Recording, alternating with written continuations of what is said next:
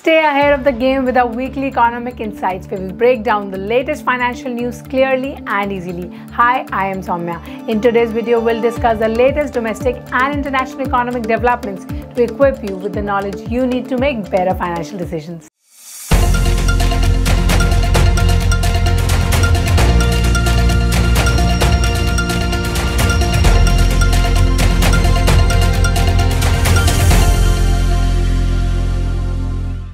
Personal finance space in focus this week, and we'll start with the World Bank's projection for India's GDP growth and its impact on your personal finances.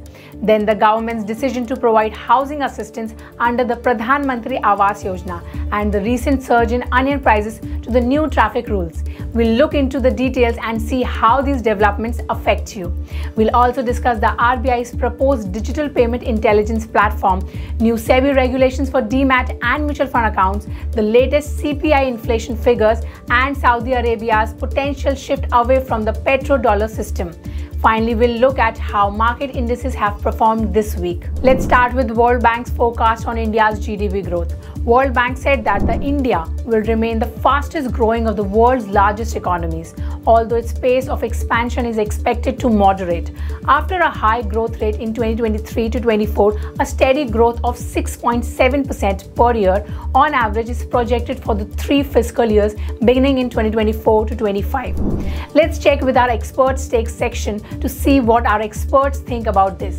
CA Arvind Rao is joining us, founder of Arvind Rao and Associates, who is sharing sharing his viewpoint on this report. Yes, so this recent confirmation or reaffirmation by the World Bank about India's uh, aggregate growth rate for the next three years is a real confirmation about the India growth story and uh, uh, we have been witnessing the whole improvement in corporate profits which in turn is reflected in the way the Indian stock markets have uh, given the kind of returns over the last two to three years.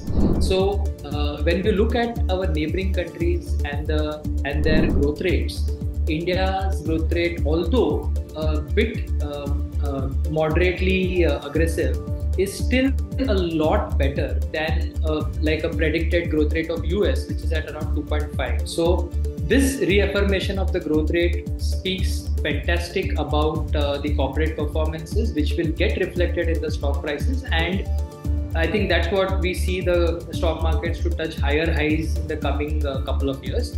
So, uh, great thumbs up for India and uh, corporate performance. Now, let's talk about government's commitment to provide house.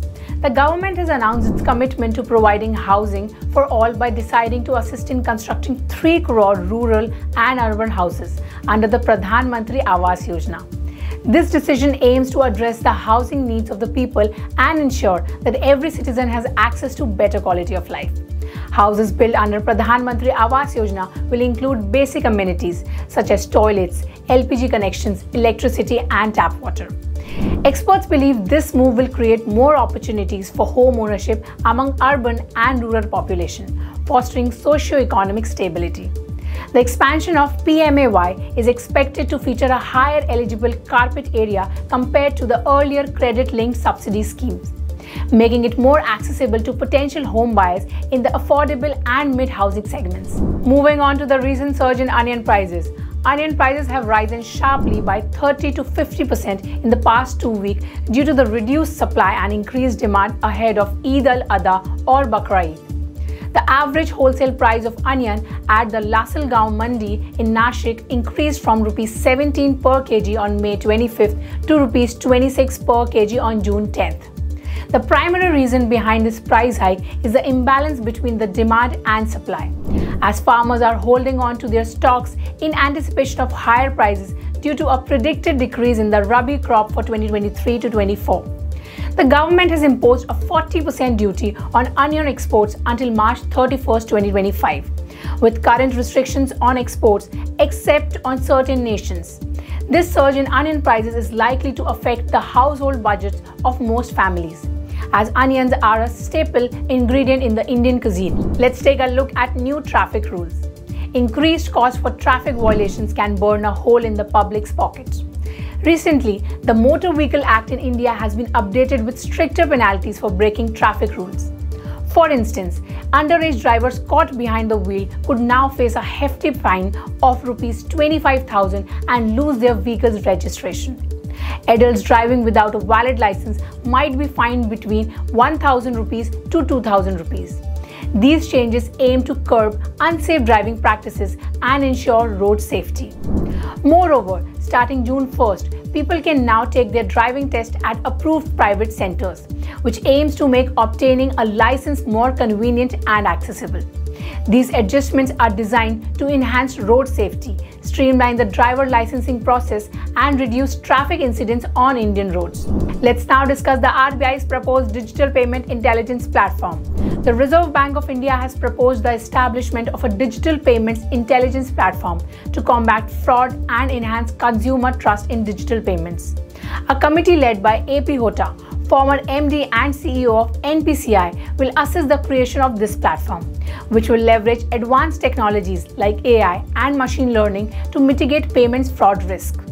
Experts believe this initiative will boost public confidence in digital payment system, leading to a broader adoption and usage.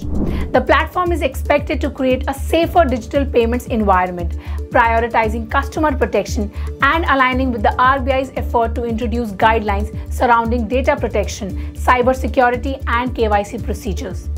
For the common man, this means a more secure and reliable digital payments ecosystem. Moving on to new SEBI's regulation for demat and mutual fund accounts. In a relief to investors, the Securities and Exchange Board of India has announced that the demat accounts and mutual fund folios won't be frozen for non-submission of nomination details as the deadline was June 30th, 2024. This decision aims to make it easier for stock and mutual fund investors to comply with regulations and ensure investors' convenience. SEBI has also decided that payment including dividend, interest or redemption payment previously withheld by listed companies RTA for want of choice of nomination shall now be processed accordingly. Investors holding securities in physical form will be eligible to receive payments and lodge grievances or avail service requests from the RTA even if they have not submitted the choice of nomination. While new investors will still be required to provide nomination details for demat accounts and mutual fund folios. Existing investors will be encouraged to update their nomination details through regular communication from depositories, fund houses, and RTAs. Let's now take a look at the latest CPI inflation figures. Based on the Consumer Price Index, India's retail inflation fell to a 12 month low of 4.75% in May from 4.83% in April, mainly due to high base effect and easing food prices.